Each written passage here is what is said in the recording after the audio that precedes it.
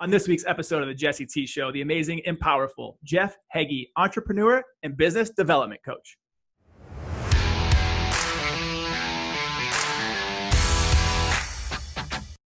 You know, it was I loved it. It was a lot of fun. Um, you know, we I I had great friends, got a close family within the rodeo community that I got to know, and I absolutely loved it. Um, and yeah, there there's definitely the factor that you can have injuries and stuff, and I had my share.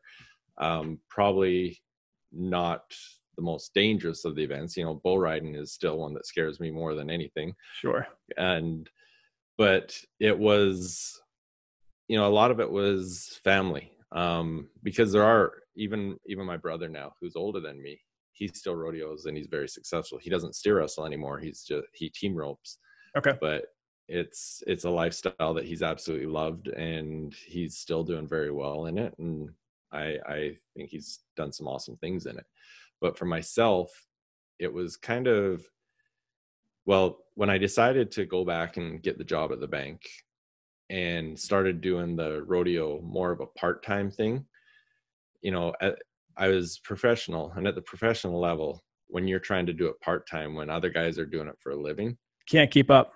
You don't make very much money Yeah. Yeah.